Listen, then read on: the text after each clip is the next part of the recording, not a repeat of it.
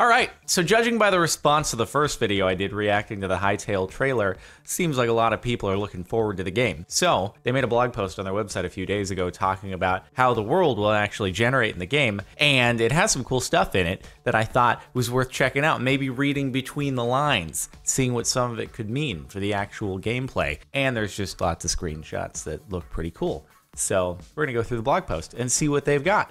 World Gen, introduction, cool introductory picture. So the world is going to be called Orbis, which is cool that it has a name, I guess. In Minecraft, what, there's never been a name for where you are. There's the overworld, obviously. There's names for the dimensions, but is it Minecraftia? That's a name I've heard thrown around before, but there's never been an official name. Here, we can say Orbis. Sounds like Orbeez, or maybe it is pronounced Orbeez, like the things that people put in their bathtubs and make very colorful thumbnails for YouTube videos and you get millions of views and stuff like that. So I can just title playing with Orbeez for my Hytale videos and then it'll be accurate, technically, just spelled differently. And, and then people will watch it if for no other reason. So we got this screenshot here, and it's showing that the world is broken into different zones. I don't know exactly what that means, right? Because it looks like you have something called the overworld. Oh, it looks like Minecraft overworld here, then you have something that's more along the lines of a mesa or a desert, if I'm equating it to Minecraft, or of an ice tundra sort of biome. Then you have something that almost looks like the nether over on this side. These haven't been unveiled yet. They look very corrupted, but that's probably just the effects concealing them. They might not look anything like the purple smokiness.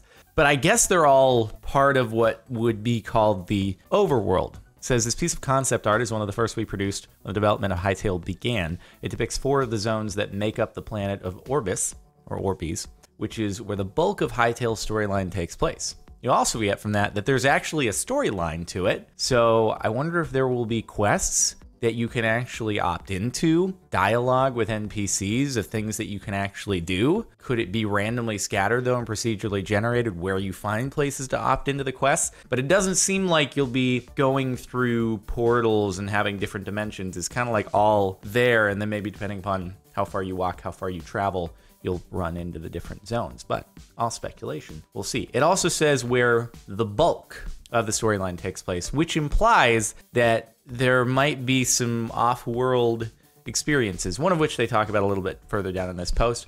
We get to it in a moment, but I would imagine they're not revealing everything before the game goes out, so there will be some surprises.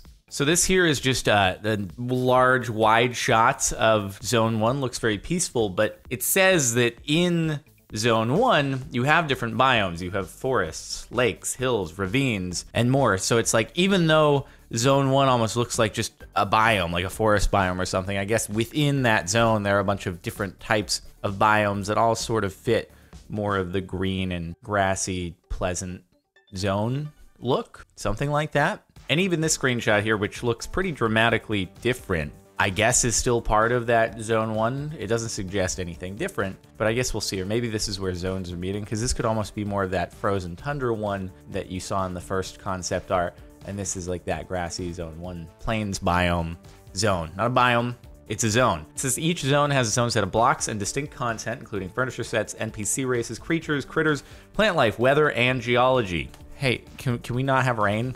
It's just a personal question or just a way to disable rain. Like if you don't want it, you can just get rid of it. I don't like rain. I don't know if anyone here watching my videos has ever gathered that before, but rain is unnecessary. We can just pretend it's raining, but I just don't have to see it so that the video quality doesn't decrease, nor does the stream. Which makes the stream quality go to poop. Okay, anyway, cool. Exploring a cave in Borea will be very different from exploring a cave in the Emerald Grove, and I guess we have a couple of comparisons of what pre-built structures might look like in different zones.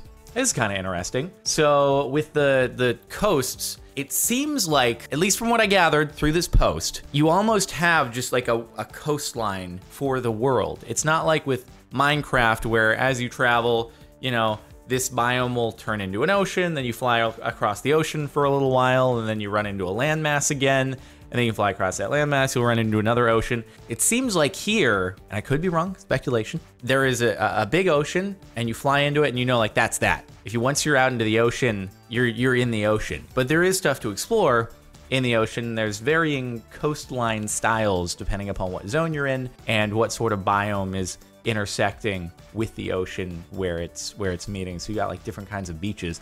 This is like a very northern California kind of beach, whereas this is I don't know where this this would be, like a tropical or maybe like an African beach or something like that. Not really sure. I haven't traveled to enough places in the world. Doesn't look like a beach I've been to before though.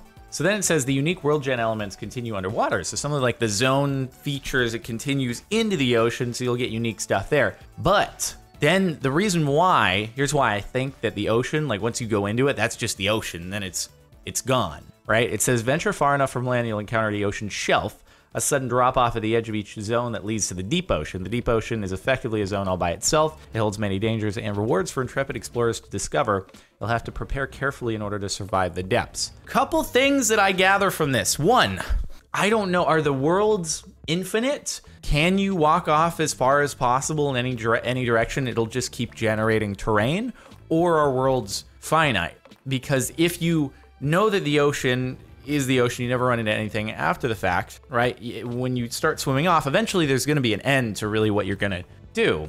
And I'm very curious if it's like once you walk far enough towards a particular zone, is that kind of the end? Is this not meant to be that sort of endless world generation like you get in Minecraft? Is it meant to be a different experience in that regard? So I'm, I'm very curious to see where that goes. But the way this is worded kind of implies there is more of a a finite end versus you being able to go out millions of blocks until yeah, I, I, get it. Minecraft worlds aren't infinite. You hit the Farlands and things start to mess up, but whose world is actually gonna get that big realistically? No one's. It's effectively infinite. So even though I know that 30 something million or however far the Farlands are is still an infinity away from infinity, I realize that, but you whatever. But the underwater content looks really cool as I sort of said in the in the trailer when I was watching it, like this looks like Subnautica stuff. And also, I love how they say you're gonna have to prepare in order to explore the deep ocean. That's something that even with the aquatic update in Minecraft, there's no real, hey, I gotta gear up, we gotta get a scuba suit and we gotta tier level it up and make sure we got the best gear so I can hold my breath for a lot longer. It's kind of it's limited what you're able to do. Here it's like, okay, we're gonna gear up. We want to explore the deep ocean. Maybe there are particular dungeons down there that you can get to. And so you have to really gear up towards doing that sort of thing and then set out to explore it. And that sounds way cooler. I love having that sort of progression to ocean and, and underwater type stuff. I want some Subnautica in my life because I'm still waiting on Subnautica Below Zero. So it says, Beyond the oceans lie the infinite lands. Hytale storyline won't take you out that far, but our world gen tech will ensure there's always something for you to find beyond the edges of the world. So it's like, it's weird. So you can keep going forever, like it'll it'll function, but there's not necessarily a use in going out that far. And does it change? Does it become less interesting? I don't know. We'll see. I mean, it sounds like maybe we'll keep going, but they say there is an edge of the world. So I'm curious where the line is drawn there. So we got caves and dungeons that look super cool. And it's just a whole bunch more variety when underground and mining things versus it just being like, hey, occasionally, very, very rarely, usually when you're looking for it, you'll run into a stronghold or maybe just a zombie or skeleton spider dungeon underground in Minecraft. This is like, dude, you got some serious underground exploration here with all these things you're able to find. Like, look at this. This is just a random dungeon that can generate. It says dungeons uh, are a little different. They comprise multiple changer, chambers and encounters joined by connecting passageways, often culminating in a final room, providing challenges and special rewards tailored by our world team. Yeah, that seems pretty cool and I think you can run into them randomly and they'll have an above ground structure to go along with them. So I'm sure some of them will be like you coincidentally run into them while you're exploring a cave or mining, but some it's like, oh, this is marked by a structure above ground that I can actually see and I know I can explore this whole thing and perhaps get some cool loot. So this is just like a bunch of the world generation elements they have a bunch of varieties. They've made almost 4,000 prefabs that'll go into the game. A lot of that is probably eaten up by trees, as you can see here in this photo, because they got to get a lot of trees in there. But pretty cool. Like, dude, that's just such a cool structure to run into somewhere randomly in the world. I love it and I want to check it out. And I hope that that also extends underground. And then there's also this over here. I don't know what that is, but it looks cool. Now, earlier on, when they say that the majority of the Hytale storyline takes place in Orbeez, I don't know if when they say the other stuff, some of it will take place off world. Maybe it's this portal thing, or if there's going to be secret things they reveal later on. You'll find out when we end up playing the game. But I guess there are these dungeons where when you explore them, you'll at the end of them find a portal that you can go through, and that portal will take you to some place like this. It's just concept art for the time being, so these are illustrations. But I guess like once you go through the portal in the overworld, whatever zone you're in, you'll find yourself in some sort of island in the middle of nothingness in the sky, which is kind of cool. And then you'll be able to, I don't know, find loot, fight a boss or something like that. So it seems seems like some pretty cool stuff. I look forward to it. But it doesn't seem like you actually build the portal. It's something that you'll find in one of these dungeons, but who knows, maybe there will be portals that you can build in order to check out other other dimensions. We haven't heard anything about other dimensions other than these portal dungeons, but who knows? Got some Bob Ross happy little accidents. which I guess happened. They're just talking about, hey, sometimes we uh, we coded all these rules in, but sometimes you have different elements of land and world generation that intersect with each other, and we didn't even predict it would look like that. But hey, turns out it looks pretty cool when it it doesn't mess up and spit out a bug or crash the game, because I'm sure that happens a lot when you're developing a game. Uh, and then at the very end here, they sort of wrap it all up by saying all the world generation systems that we've created will be fully customizable by content creators. You can tweak world gen rules or write your own through configuration files.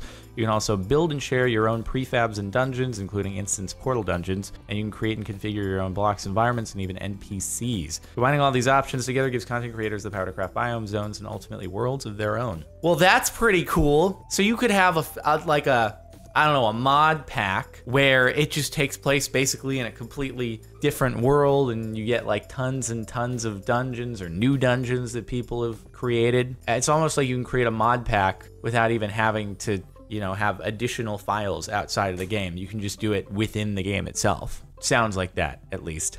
So, this is a cool post. I'm stoked. I want it to be released probably going to be a little while. I have no insider information. I just want to say I'm learning things with the rest of you. If I ever do get insider information, I will let you know and disclose that. But for now, I'm learning everything with everyone else, and uh, I'm stoked to play it whenever it's ready to go. Like I said, have no idea. But uh, I thought it was worth taking a look at this post. Hopefully, you've enjoyed. go back and watch my reaction to the trailer if you want. Link it in the description, something like that. Um, make sure to like if you liked check out the playlist. If yeah, I'll, I'll make a Hytale playlist. I'm sure there'll be more videos leading up to it. Subscribe if you're not already, and I'll see you next time.